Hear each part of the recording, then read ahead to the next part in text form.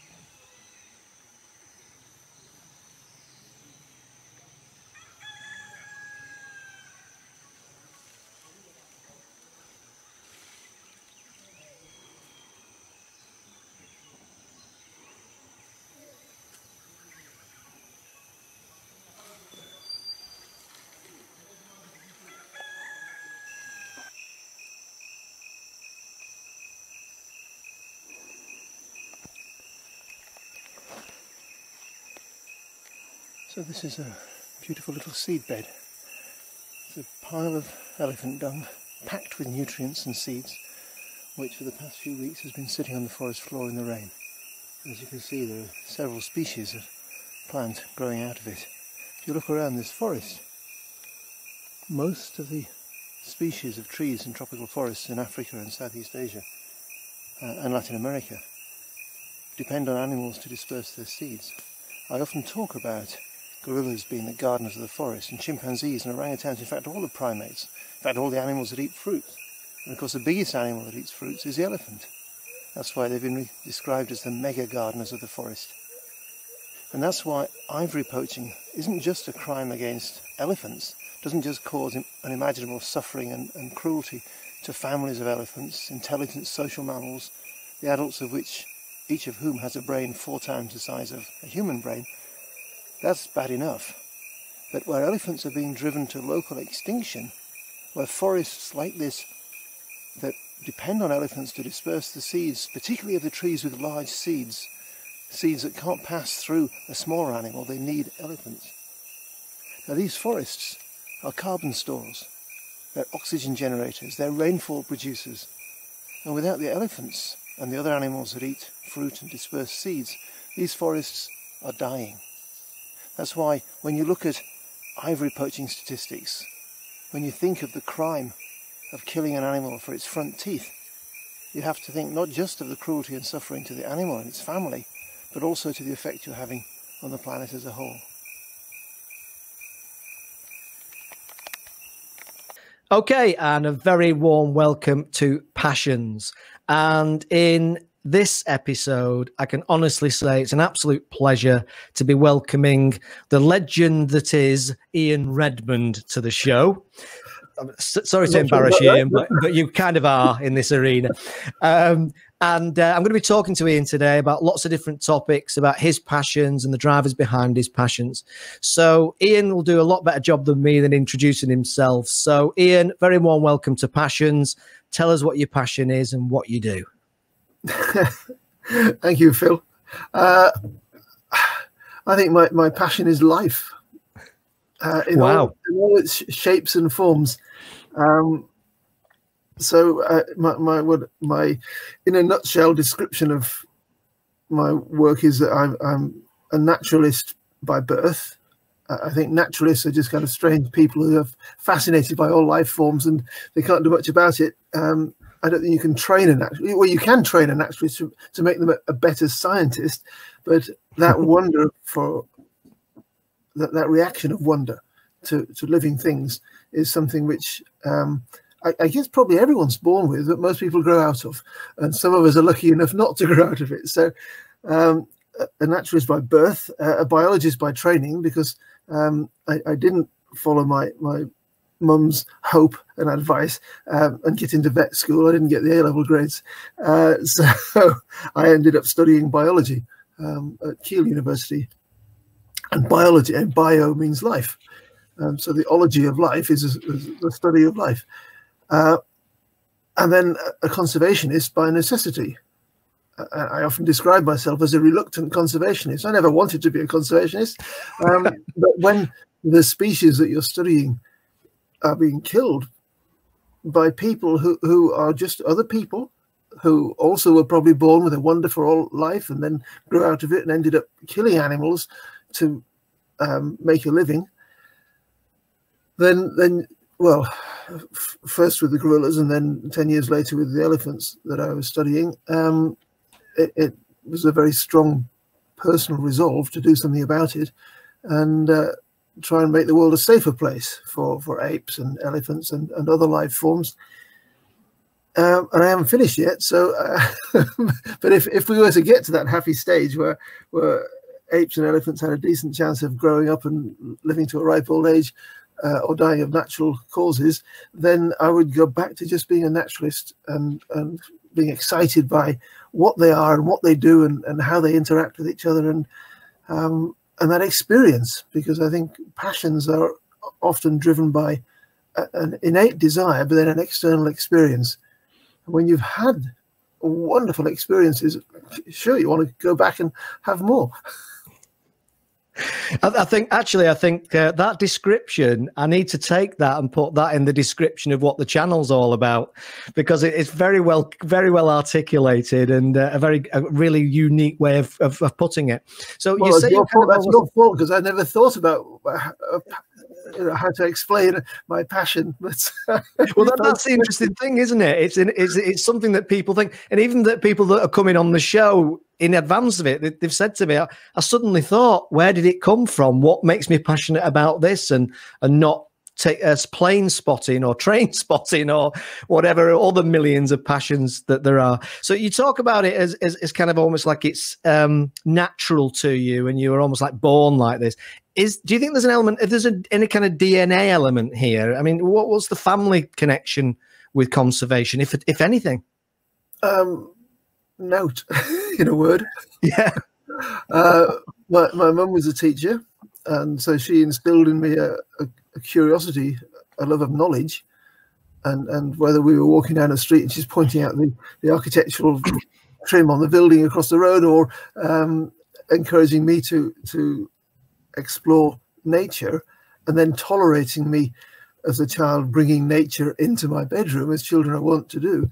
Um, and, and, that yeah that was that was that was a good start. Um, uh, my my parents were separated so i didn't have a sort of paternal influence as a as a child although i get on very well with my old man now and, uh, good um, but he he was in the army he was a, a pharmacist in the army and uh, and in his spare time wrote pantomimes and, and plays. Um, so he, he is probably a, an explanation for whatever theatrical flair I might have. all, so, all, my siblings are musicians, so I'm the one um, Redmond who, of this generation who, who doesn't make a living out of music or performing, except that I do perform because I do enjoy speaking to live audiences and that interaction with an audience. So I, I think actually one of the keys to my passion is communication. Mm. Because I get a real buzz out of communicating with with other beings, whether they're human beings or non-human beings. And that's where I think for a lot of people, you start to, oh, you mean, yeah, human being, you tend to think of as almost one word. But of course, it's two words, human being. And if there's a human being, well, what about the beings who aren't human? And that's why my you know, the fickle finger of fate steered me towards working with, getting to know, and I would say befriending and, and having a mutual friendship where they're as interested in me as I am in them and as comfortable in my presence as I am in their presence with, with uh, beings who happen not to be human, but they're very definitely beings. Wonderful. Love that. I love that.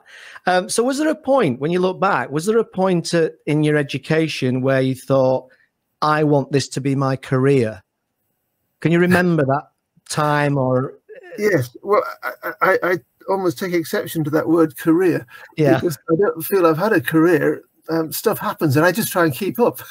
and it hasn't Yeah. stopped happening and I haven't Yeah. managed to keep up yet. I'm always slightly behind in where I'm trying to do. but um, no, experiences that might have pointed me in this direction. Um, I, I, I have campaigned against and written and lectured against the keeping of, of primates as pets.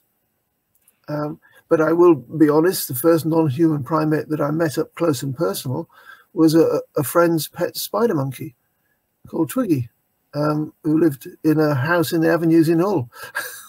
well, I, I lived in a different house not far away. And uh, um, Pablo Stern and his big brother Carl um, were, were school friends. And they had seen a, a little spider monkey in a pet shop, which was commonplace in in, in those days, um, and bought it because they were sorry for it, not thinking it through that if they do that, then the pet owner, having made a profit, will go and get another one, and that will send a word out to some trapper somewhere in, in South America who will go out and capture another one, often by killing the mother because you can't get baby monkeys just like that. Um, but obviously, as a child in in all, that wasn't part of our thinking. Um, so that interaction with uh, a non-human primate um, was was wonderful.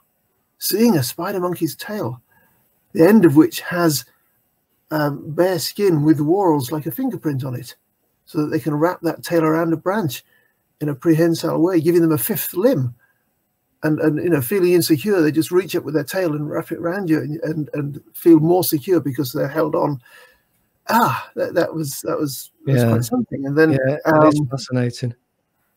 and, and the, the life forms that i brought into my into my bedroom uh, capturing you know keeping tadpoles in jars and, and watching them grow into frogs and caterpillars watching them pupate and then out comes a moth or a butterfly it, it is it is it fills you with wonder so it is wonderful in the very literal sense of that. But as far as many of those animals are concerned, I was a predator. Because I brought them into my room, I wasn't necessarily very good at keeping them alive. So my fascination was stimulated, but often at the expense of the animal. Uh, sometimes I, I, you know, bred moths through several generations, several cycles, um, which was again wonderful. But ultimately, things that I brought in to study died. Yeah. Um, Yeah, you so know, it's funny, funny you should tell the story there about the monkey because it reminds me. Uh, you've reminded me actually about my my mum. Um, her brother was in the merchant navy, and so this oh, crikey, I don't even like to say West forties, maybe forties possibly, and um, he was in the merchant navy, and he arrived home one day with with, with a been to South Africa, I think it was, and he arrived with a monkey in his bag. Uh, and th- there's loads of tales about this monkey jumping around in in the lounge, and um, so I, I, I guess it was mo- mo- much more probably more common then, was it? Because there wasn't the same controls, and people were just going out in these exotic countries, perhaps in the merchant navy as an example, and bringing back all sorts. Yes, uh, and life at sea can be very lonely. So having a, a companion animal can make that much easier. Yeah, and that continues to be a case today. A, a few years ago, I was looking into the illegal trade in baby uh, apes in particular, but other species out of interest um, in in Boma, which is a port on the mouth of the River Congo in the Democratic Republic of Congo, and uh, I, I had previously on, on earlier investigations heard of sailors coming inland and buying baby gorillas, baby chimpanzees, and, and I can see that if you're spending weeks at sea, then having a an intelligent companion animal is is is um, very gratifying. Um, but of course, to feed that demand, uh, hunters who don't have uh, other ways necessarily of earning money um, will go into the forest and kill a mother ape. And, and usually, if it's a gorilla or a chimpanzee, the father and any other members of the group that get in the way to get that baby. So it's a very destructive uh, practice. And so I was in, in Boma um, asking around if anyone knew of people who sold uh, apes, and a guy who, who was serving in a restaurant uh, where we were having a, a drink, looking out over the the ships that were moored offshore. Boma isn't a very big port. They haven't got many places to tie up a, a big cargo ship. Um, so they, they wait offshore. And he said, Oh, you want to talk to the washmen? I said, Who, who are the washmen? he said, Oh, well, they're, the young, sort of streetwise guys who, who paddle out in canoes to the boats that are waiting offshore, where the sailors are not allowed to come ashore because they haven't got a, a visa. So they've been at sea for weeks and they end up sitting on a boat just away from the land and they can't go and have, live it up in town because they haven't got a visa. So the washmen come out and, and basically take a shopping list. So you want fresh meat or vegetables, uh, you want a girl for the night, you want a, a, pet to keep on board. They'll paddle back to shore in their canoe and, and go and get it for you and, and bring it out and, and make a fair old profit in, in the. So, okay, uh, where do we find some washmen? We went into town and uh, two young guys um, were found for us by this helpful chap. And they, they said uh, they didn't mind answering some questions. You buy them a drink, have a chat. And uh, I said, you know, do the sailors ever ask you to get some? Oh, yes, yeah, yeah. Apparently, Russian sailors often ask for crocodiles. Well, I guess if you, again, if you're living at sea, you want a companion animal. You want something that reflects your your uh, status. and maybe a, a, pet crocodile is just what you need. Lots of teeth. And, um, so they hadn't been asked to get any baby apes, but they said, "Oh, if you want a baby gorilla, I know there's one for sale." That was their job to know what was for sale where. So I said, "Yeah, we'd be interested." Um, I didn't tell him that we would get the vendor arrested, but uh, I said, "Yeah, it would be interesting. I'd like to see that." Yeah. Yeah. And we went off and came back. Yeah, four hundred dollars. Ooh, I mean that's very cheap for a baby ape. Um, so we go off to to see the baby gorilla, and as we're approaching, um, it looks like a baby chimpanzee. Okay, yes, taxonomy is not the strong point of um, these vendors. Um, and the lady comes out with she says, "Oh, you, you, you want to you're interested in buying a, a, baby chimpanzee," but after a moment looking at this, um, it became apparent that it was actually a baby bonobo, so much less common, less well known species of ape. Um, the same genus as chimpanzees, but with some key differences. The, the, hair is parted down the middle. They have sort of red lips and a dark face, um, but very cute. A much high pitched voice, a little squeaky voice that they have. Um, and this baby bonobo didn't like being dragged out and shown to people. Uh, it was a bit nervous, but it was obviously a family pet. And I said to this lady on realizing that it was a bonobo, I said, well, you know, your children are going to be very sad because she had two gorgeous little girls. She sold hair extensions in a little boutique on the side of the road. Yeah. You know, corrugated iron and wood shack, but selling uh, hair paraphernalia and uh, her little girls were beautifully turned out, as cute as you could, and, and this was their their pet, and that, it wasn't in chains or being mistreated; it was a member of the family. And I said, "Your kids are going to be really sad if if." And she said, "Oh, it's all right. I know a lady in Matadi. I'll get another one." ah, okay. so we said, um, "Well, we're not going to buy it today. We we'll come back tomorrow." And we went away and had a think and I was with um, a lady who was the country representative of the Bonobo Conservation Initiative, and Evelyn said, "Well, if we go in there with the officials and, and sort of boots and uniforms and confiscate them and arrest people, um, we will. Be, these children are going to see us as the conservationists as the bad guys because it just disrupted their family life." So she said, "Well, why don't we take the family, explain to them that what they're doing is illegal?" But take them to the bonobo sanctuary outside of Kinshasa with their bonobo and let them see it handed over and then see that it was going to have a better life with other bonobos um, because obviously uh, as that young ape grows up once uh, this was a she but if it was a he that hit puberty and things start getting very difficult keeping an ape in a household. And whilst it's been the, the subject of many amusing books the kind of books i used read as a child Mm. You know, all, all, the people who brought animals back from overseas and lived with them in their house, uh, from from individuals with one animal to to Gerald Durrell who built a zoo doing that.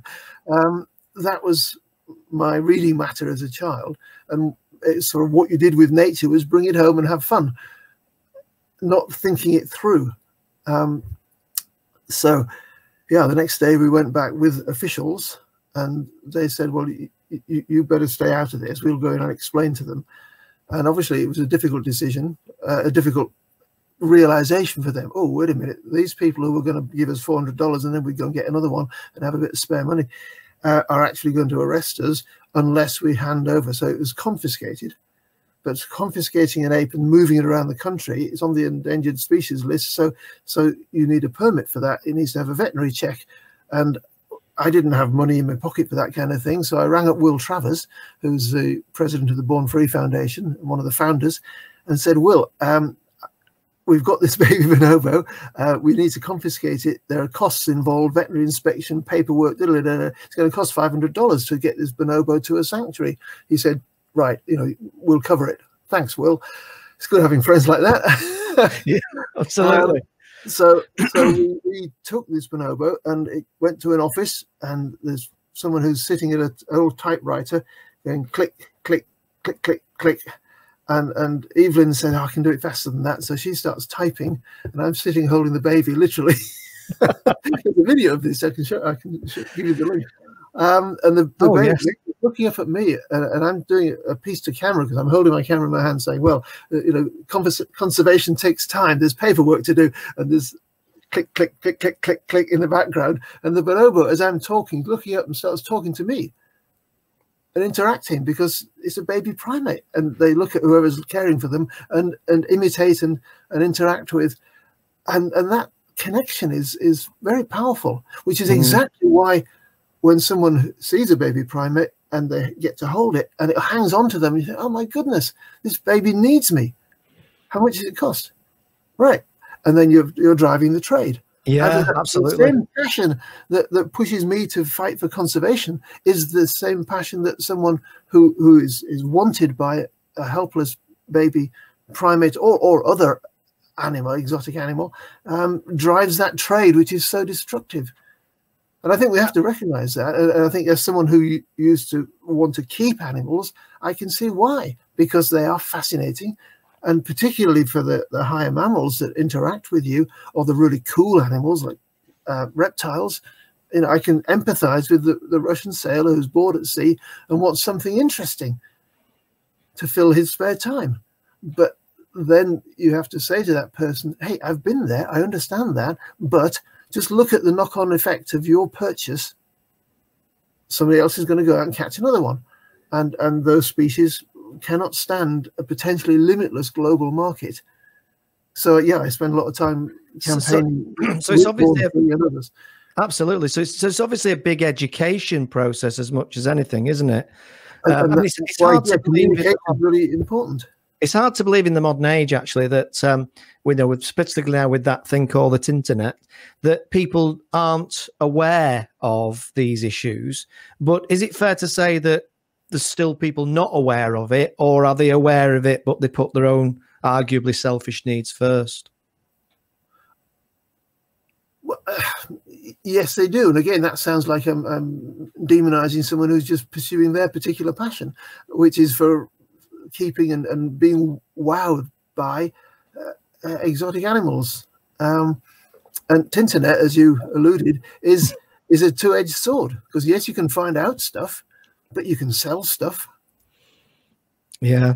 Uh, uh, just just last year, uh, someone asked me if I knew when there's a new zoo opening in Dubai, and and there were uh, and it's uh, no expense spared. It's going to be a world class way of keeping animals in captivity, um, which philosophically I, I find um, unacceptable now. I, I think you know, taking animals from a life in the wild where they're fulfilling all that they evolved to do, um, and then putting them in a basically a concrete yard with fancy bits to try and keep them entertained, uh, so that we have them to look at. It, it's as wrong as me keeping a tadpole in my bedroom and then finding out that if you don't know how to look after them, they die.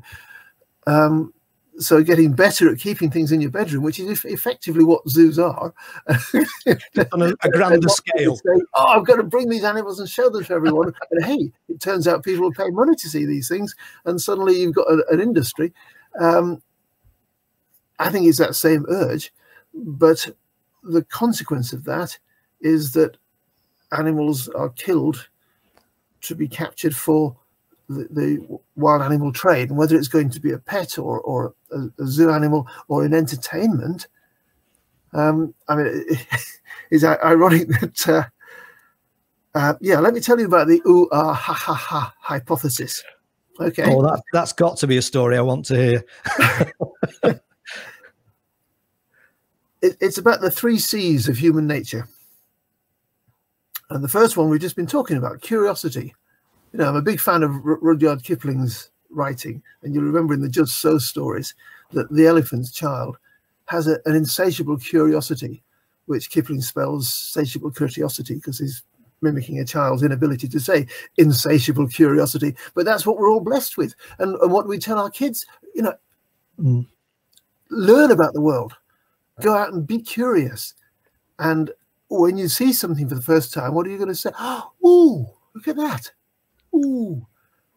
It's a, a, human response. And when you see a child with wide eyebrows go up, ooh, and very often followed by, I want one. How can I have one of those? But that's the curiosity. And we encourage our children to be curious. then if you see an interesting animal, uh, particularly if you get to hold it, almost immediately you go into compassion mode, the second C. So curiosity, very important in human nature. Compassion, it's one of the things that makes us human, and other species share that. But anyway, so compassion. What do you see when you when you embrace something like a, a puppy or a kid? Ah, ah, isn't it nice? You, even if you don't embrace it, you're just looking at it. You ah. So there's the ooh, there's the ah. What's the third one? Comedy because if you have a, an animal in your charge, almost immediately you, it's going to do things that make you laugh. and it's very easy to laugh when you're seeing a oh. puppy falling over.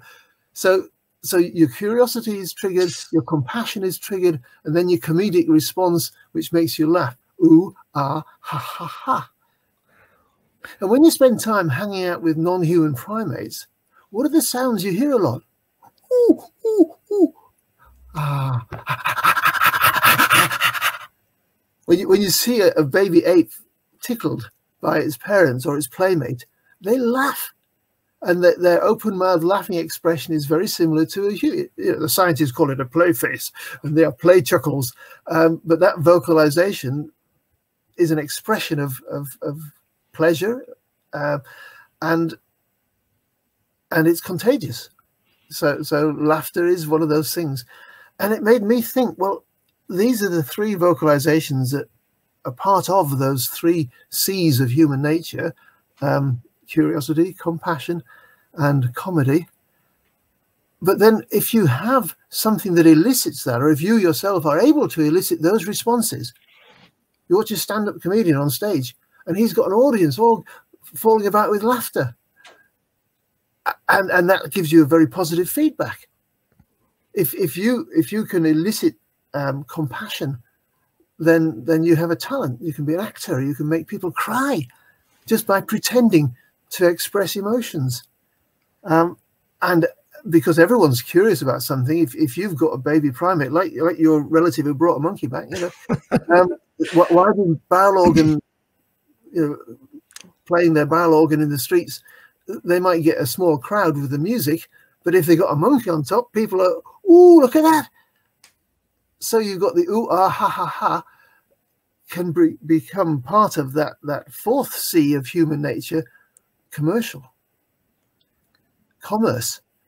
If you've got something that can elicit those responses, you've got you've got a way of making money. Make money from it, yeah. That's yeah. fascinating. That's what, that's what our, our, mutual friend Spence does.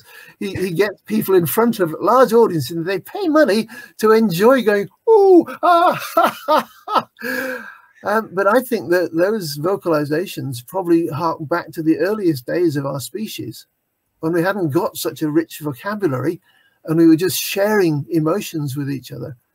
So I think the reason that that is such a primal response to something that stimulates your your uh, curiosity or your compassion or your comedic um, reaction, the comedy, is is because it's it's deep within our species, our, our, DNA, that we respond like that. So my ooh ah ha ha ha hypothesis is that the reason those vocalizations are so like what other primates uh, sound like is because they are our, our human vocabulary from from way back before we became the loquacious humans that we are now and can spend an hour rabbiting on in front of a microphone.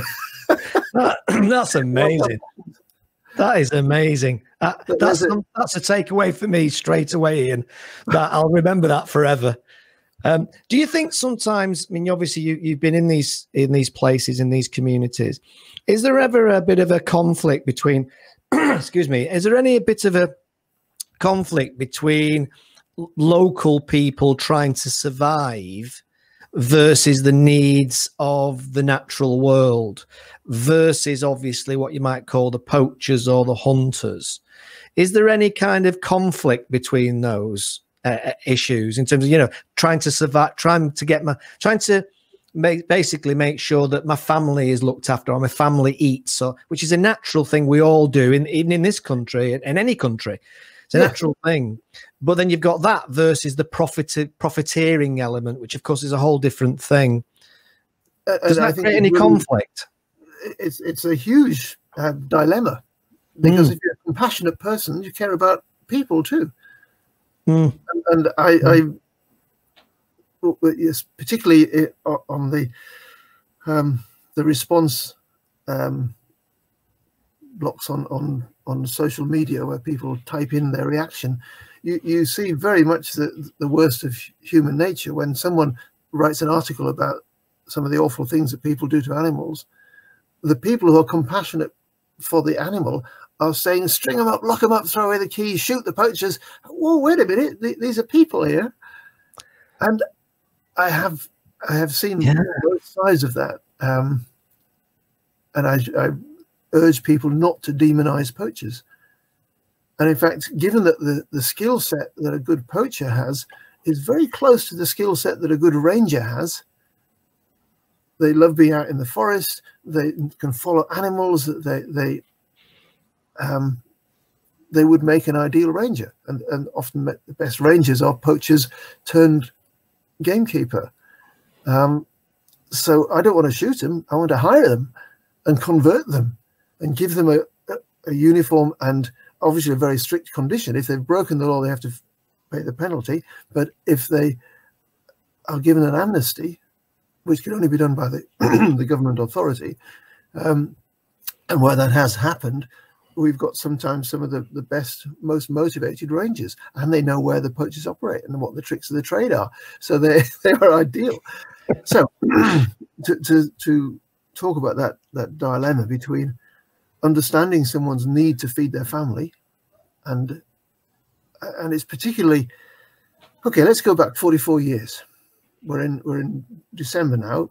Um, so last month 44 years ago i was starting at the karisoke research center in rwanda close to the, what was then the zaire border but zaire then became the democratic republic of congo.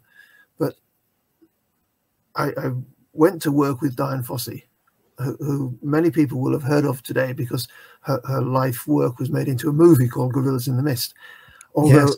a younger generation of people that I talk to now in schools either never heard of it or it's an old movie. Wait a minute, it's not an old movie, it was just made the other day, but it was made in 1988. yeah, exactly. Yeah, young yeah, people, yeah. It's, it's, quite a long time ago. Yeah, yeah. Any road up. Um, so I, um, when I was at university, I took on the task of organizing speakers for the Biology Society.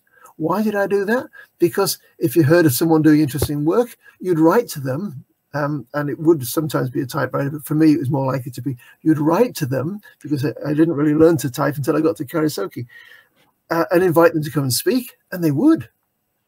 And so you'd meet them and hear about their work. And, and um, one such person was a, a scientist called Sandy Harcourt, and Sandy had just spent two years studying gorillas with Dian Fossey and was at Cambridge writing up his PhD. And I heard about him and dropped him a line. And yeah, he came and gave a talk about gorillas. Fantastic. I put him up in my flat overnight and picked his brains and got Dian Fossey's PO box number and some advice. And Sandy said, well, it's in the middle of a forest, his, his hut. So if something breaks, it stays broken. So if you can mend things, you should mention that. And, and it just happily turns out that I'm a compulsive fixer. I can't help fiddling with things to try and put them right if they've gone wrong. Um, and he said, "Don't mention my name because he and Dian had fallen out big time, and it wouldn't be an asset in my letter if I said, oh, Sandy Harcourt said I should write." So, okay, thanks, Sandy. Um, I sent off this letter to Rwanda, saying basically, um, my academic supervisors don't rate me very highly, and I was honest about that, which apparently was quite a surprise. Dian was used to getting letters from people saying, "I'm the best in my year. You have to, you know, you you need my." my yeah, you'll regret it forever if you don't take me on. Yeah. so, so having someone yeah. write, say, well, my supervisors don't rate me, but I love animals and I'd, I'd love to come and help. and I've travelled, so I don't mind living in the middle of a forest. Um, so I wrote to Dian and said, if you want someone to make the tea or, or mend the roof, mend the roof, you know.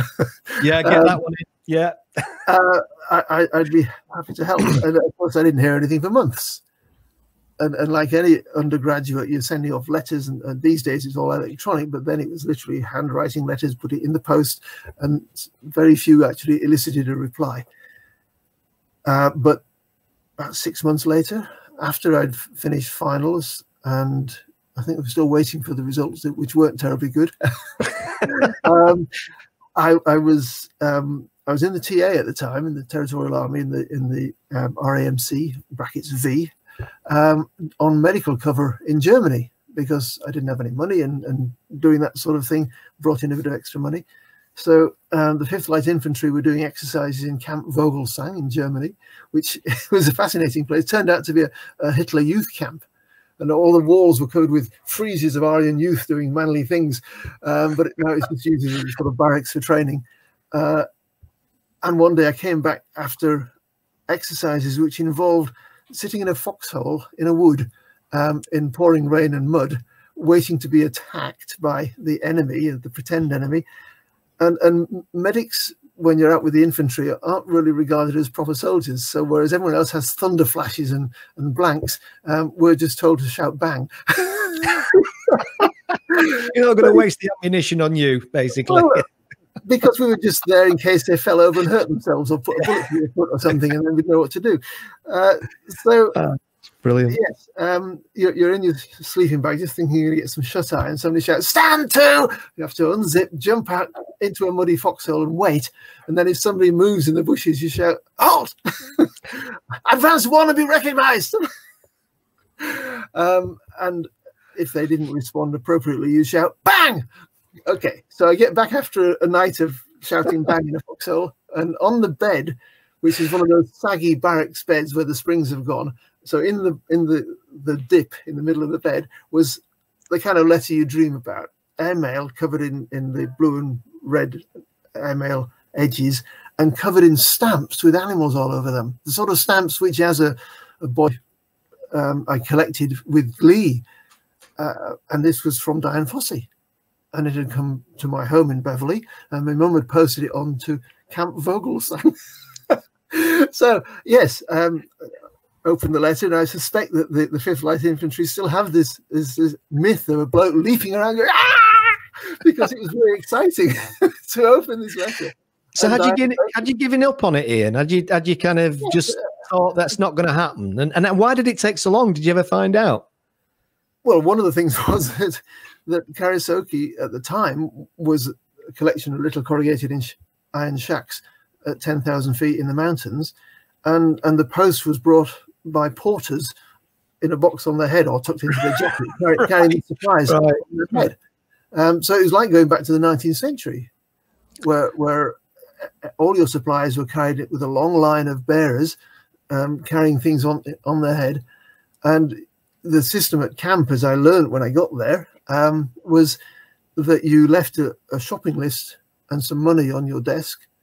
And when the porters came up, they would take the shopping list and the money and they'd go and they'd deliver any letters from the post box in town and take away your, your letters and post them. So, so communication was slow. There was no radio and there was no internet because it hadn't been invented then. so, yeah, um, yeah. yes, my letter would have gone um, to the PO box in town. The um, head porter, Gaza, would have picked it up and taken it up the mountain with a long line of people carrying potatoes and other vegetables, um, and left it at camp. And Dian would have read it amongst the pile of letters And Dian was a workaholic. She would sit at her desk typing day and night when she wasn't out watching gorillas or, or being sick because she wasn't very well. Um, and she had this correspondence all over the world, which these days almost we take for granted because email is so easy. We can fire off messages, and now even easier with, with you know sending things WhatsApp and yeah, with our, with our, thumbs on on uh, various apps. Um, but then it was you, you, wrote a letter, you put it in a letterbox, a postman picked it up, and eventually it got there. After it would take maybe two weeks to get there, and then when someone got around to replying it, they wrote their letter and the porters took it down, posted it in the post office, and it would make its way there. So you'd expect a round trip correspondence to be about a month. And, and aspiring students who want to come and help aren't at the top of your list of letters to reply to. Yeah, um, yeah.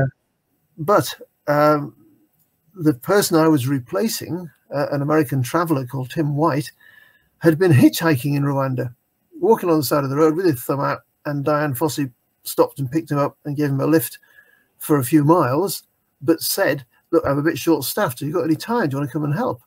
And he said, Sure, because he was just out to, to experience life. Um, and so Tim went up to help for a couple of weeks, and six months later, he was still there and, and wanted to get on with his travels across Africa. And I was the, the, the person that allowed that to happen. Um, so maybe I hadn't thought about this before, but maybe my letter arrived not long after Tim had arrived. And when he started making noises about wanting to leave, Dian dug out the letter from somebody who said they'd like to come and help and could mend roofs and, and wrote back. And, and, and she said something along the lines of, Well, I, I don't really care about what your supervisors say, but if, if you're if it's true that you love animals and you, you want to help, then you're, you're, welcome here. And she said something which which lives with me today as a motivation. She then said, uh, despite the, the lousy weather, the bad food, the isolation, for me, the gorillas are the reward, and one could never ask for more than their trust and confidence at the end of each working day. Wonderful. And, and do you think? Do you yeah. think that the um, do you think that your passion for this helped you deal with the downside, as it were? Does the passion almost like take over in terms of the driving force and motivation? Um, in which case, then you're not quite as uh, impacted by the tough physical environment. Yes, but but I I, I enjoy that. Like I mean, many people go out on weekends and and hike through cold, wet, rainy mountains and, and stay in tents and they feel better for it, just being in the wilderness. And for some people, that's that's not their cup of tea. But um, you know, I, I found jumping into a, a, foxhole and shouting "bang" when when the, the, so-called enemy approached was was quite entertaining. It was a bit of a laugh. Um, so imagine that that someone says, you know, not only are you going to go and get to work with amazing animals, I didn't really connect with what that was on a philosophical level of them being non-human beings. But I, hey, I was going to go and help study gorillas, um, and have all the fun that people have when they go out on the hillsides on the moors in, in Yorkshire or, or elsewhere. Other moors are av- available. yeah. Someone who likes to go out on the Yorkshire moors, then then um, to to actually be I wasn't exactly paid because I was, was only given enough money for food. Um, but being a, a, frugal Yorkshireman whose mother was a DS teacher, domestic science teacher, therefore I knew how to cook. Um, what what some students or researchers at Karisoke saw as a, a limited uh, diet, um, I found it was great. I, I, invented all sorts of dishes up there. Um, when I was studying the blues on the way back, if there was a bramble thicket, I'd, I'd collect blackberries and I'd make blackberry jam. Um, you know, I, I, I, suppose if I suppose if anybody out there, the young younger ones are out there, and then they ask the, in the first couple of days, they ask the question, "Where's the nearest McDonald's?" You know, you're probably in trouble at that point. Yes.